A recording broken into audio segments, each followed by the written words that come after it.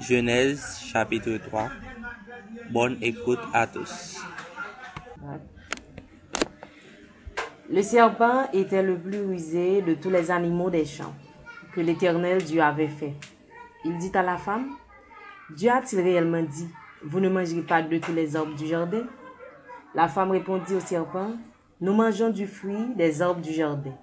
Mais quant au fruit de l'arbre qui est au milieu du jardin, Dieu a dit, vous ne mangerez point et vous n'y toucherez point, de peur que vous ne mouriez. Alors le serpent dit à la femme, vous ne mourrez point. Mais Dieu sait que le jour où vous en mangerez, vos yeux s'ouvriront et que vous serez comme des dieux, connaissant le bien et le mal. La femme vit que l'arbre était bon à manger et agréable à vue, et qu'il était précieux pour ouvrir l'intelligence. Elle prit de son fruit et en mangea. Elle en donna aussi à son mari était auprès d'elle, et il en mangea. Les yeux de l'un et de l'autre s'ouvrirent. Ils connurent qu'ils étaient nus, et ayant cousu des, des feuilles de figuier, ils s'en firent des ceintures. Alors, ils entendirent la voix de l'Éternel Dieu, qui parcourait le jardin vers le soir. Et l'homme et sa femme se cachèrent loin de la face de l'Éternel Dieu, au milieu des arbres du jardin.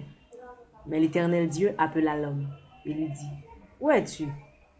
Il répondit, J'ai entendu ta voix dans le jardin, et j'ai eu peur, parce que je suis nu, et je me suis caché. Et l'Éternel Dieu dit, Qui t'a appris que tu es nu? Est-ce que tu as mangé de l'arbre dont je t'avais défendu de manger? L'homme répondit, La femme que tu as mise auprès de moi m'a donné de l'arbre, et j'en ai mangé.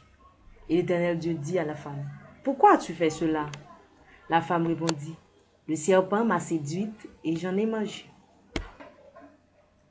L'Éternel Dieu dit au serpent, Puisque tu as fait cela, tu seras maudit entre tout le bétail et entre tous les animaux des champs.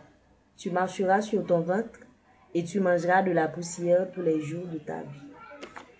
Je mettrai inimitié entre toi et la femme, entre ta postérité et sa postérité. Celle-ci t'écrasera la tête et tu lui blesseras le talon. Il dit à la femme, J'augmenterai la souffrance de tes grossesses. Tu enfanteras avec douleur et tes désirs se porteront vers ton mari, mais il dominera sur toi. Il dit à l'homme, puisque tu as écouté la voix de ta femme et que tu as mangé de l'arbre au sujet duquel je t'avais donné cet ordre, tu n'en mangeras point. Le sol sera maudit à cause de toi. C'est à force de peine que tu en tireras ta nourriture tous les jours de ta vie. Il te produira des épines et des ronces, et tu mangeras de l'herbe des champs.